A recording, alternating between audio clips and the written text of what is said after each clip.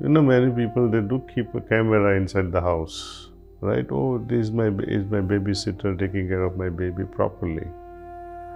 There's plus and minus to it. So your book, The Wisdom Bridge, which came out recently, uh, as someone who's not a parent, um, I I had a difficult time understanding some of the things that were written for a parent. But I figured, you know, I would instead look at my childhood and compare that to your childhood.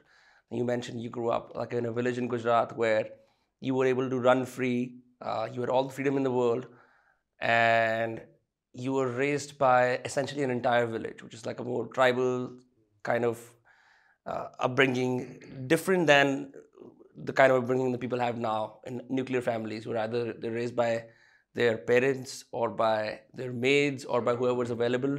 Sorry? The surroundings. The surroundings, right?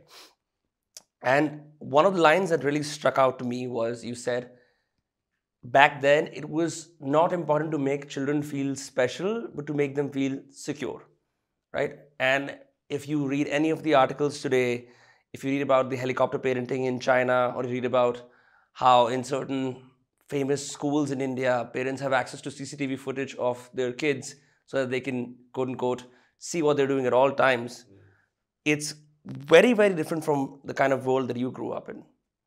Why do you think making children feel special is a problem? It's not so much about not making them feel special. I think making them feel special often drains parents. Your energies are invested in a wrong track. You are investing your funds, your limited resources into things which you should not be really bothered about. So, if you don't have a trust, in a school, why let your child be going to visiting that school at all? If you don't have trust, how are you inculcating trust in your child? So, oh, I saw you doing this, I saw you were playing this, I saw you were crying, baby, what was wrong with you today? Watching, watching, watching, and imagine what happens to the child later on. Papa is watching, Papa is watching, Papa is watching. Everybody is watching me. They can't express themselves freely.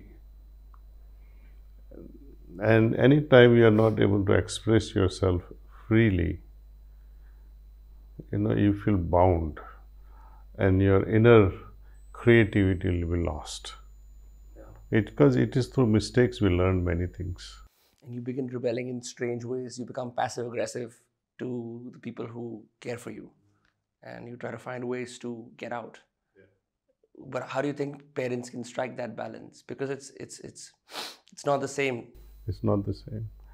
You know many people they do keep a camera inside the house right? Oh this is my is my babysitter taking care of my baby properly. There's plus and minus to it. At that age you do require it.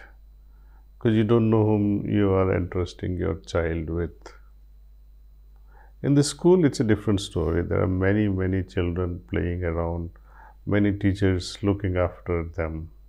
So I, I think seeing, watching everything and telling your children what you are doing, what you are seeing, is different from having a, a technology inside your bedroom or in your living room watching, because you're not interacting with a toddler.